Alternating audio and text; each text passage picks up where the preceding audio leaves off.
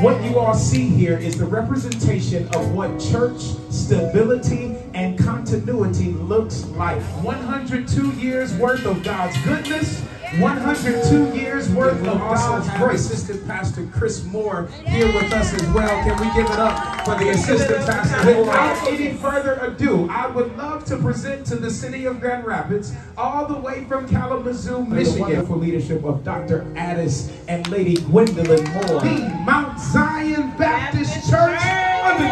portion of Sheldon Turner. The word of God is real.